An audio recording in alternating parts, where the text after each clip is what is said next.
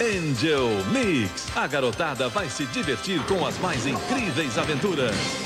Tem Denis, o Pimentinha, o Máscara, X-Men, Hoje e as Baratas Tontas, as novas aventuras de Gasparzinho, Luluzinha, Robocop, a nova família Adams e a estreia de Cavaleiros da Magia, jovens guerreiros lutando pela paz num mundo de encanto e fantasia. Amanhã, a partir das 8 da manhã, no Angel Mix.